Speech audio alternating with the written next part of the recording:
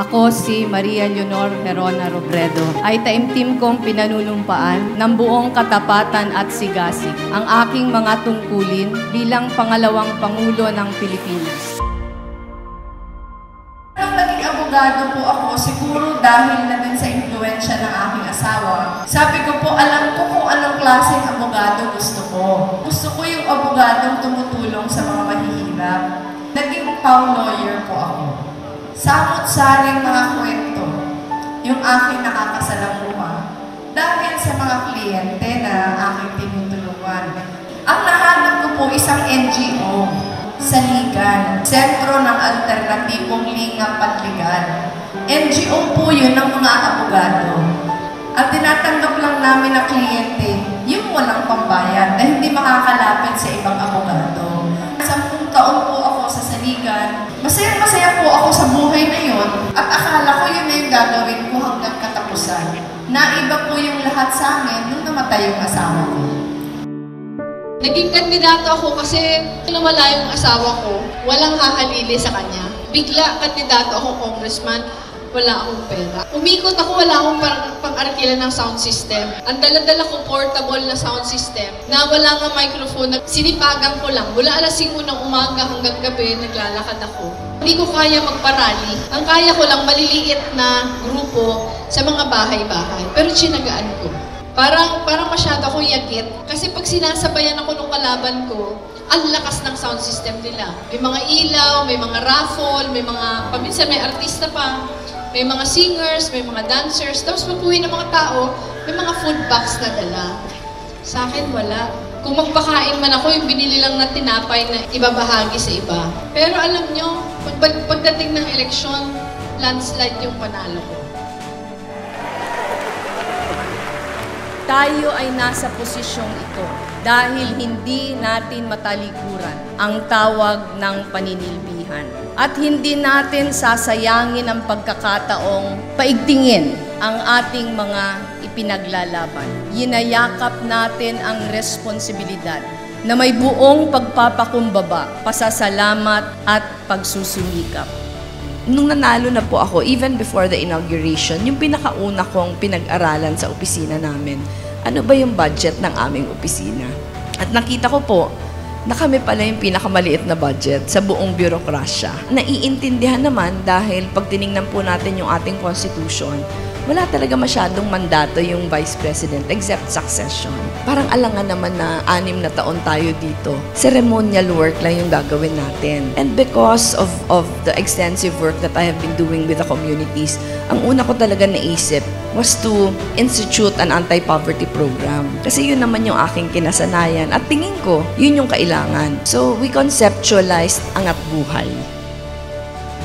Dahil po wala kaming pondo, kami nagsilbi na lang na tulay. Naghahanap nung pinaka mahihirap na mga communities. Tinitingnan namin kung ano yung kanilang mga pangangailangan. Naghahanap kami ng private partners na pwedeng makapag-provide ng kanilang pangangailangan. Pag upo ko po bilang HADSI Chair, nakita ko po na while marami tayong produkto ng mga pabahay, yung mga produkto natin mahirap maabot ng pinakamahihirap. Pag meron tayong maayos na trabaho, may sweldo, madaling makapag-housing loan. Pero yung mahirap na mahirap, ngayon yung mas nangangailangan ng tulong, parang yun yung mas nahihirapan mag-access sa programa ng pabahay ng gobyerno. Kaya iniba natin yung ating mindset na dapat yung mas nakakaluwag sa buhay, mas magbibigay daan para dun sa mas nangangailangan. Ngayong umaga, sinumite namin sa Malacanang ang sulat ng aking pagbibitiw mula sa gabinete. Nakasaad sa aking sulat na I have exerted all efforts to put aside our differences because the Filipino people deserve no less. We will continue to support policies and actions from this administration if we believe these are right and just and will benefit the last, the least, and the lost. If they don't, we will not hesitate to dissent. Kahapon, nakatanggap tayo ng liham mula sa Pangulo na nag-aata sa atin na pangunahan ang kampanya laban sa ilegal na droga. Ang pinakamahalagang konsiderasyon para sa akin ay simple lang. Kung ito ang pagkakataon para matigil ang patayan ng mga inosente at mapanagot ang kailangang managot, papasanin ko ito. Kaya tinatanggap ko ang trabaho na binibigay sa akin ng Pangulo.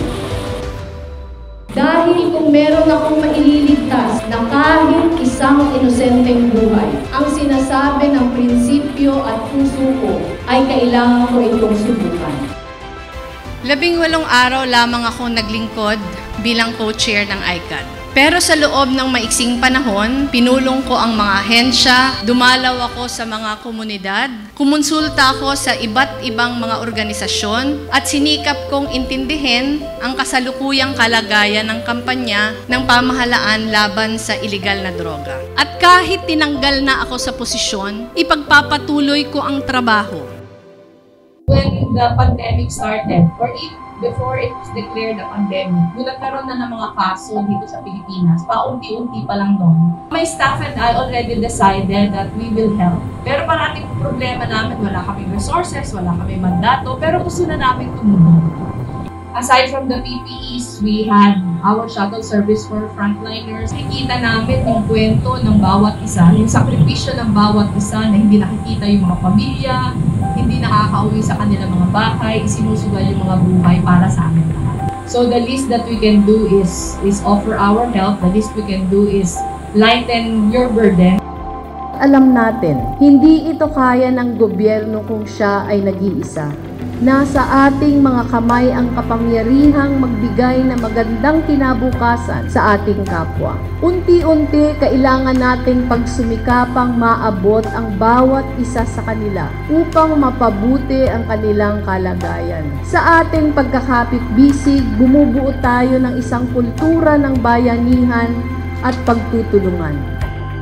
Itong ito ang kwento ng ating paglalakbay. Noong nagsimula tayo, parang walang naniniwalang may pag-asa tayong manalo. Ngunit dahil sa pagbubuklod ng ambag ng bawat isa, nanaig tayo.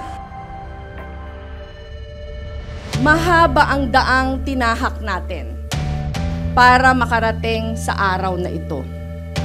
Pagdating sa pamumuno, iisa lang dapat ang konsiderasyon. Ano ba ang pinakamabuti para sa bansa natin? Ina akong nakikita ang pagdurusa ng minamahal kong bansa. Naniniwala ako ang pag-ibig na susukat hindi lang sa pagtitiis, kundi sa kahandaang lumaban kahit gaano kahirap para matapos na ang pagtitiis. Ang nagmamahal kailangang ipaglaban ang minamahal. Heto ako ngayon, humahakbang. Ipaglalaban ko kayo hanggang dulo. Itataya ko ang lahat. Ibubuhos ko ang lahat na kayang ibuhos. Sama-sama tayong tumaya sa laban na ito. Lalaban ako. Lalaban tayo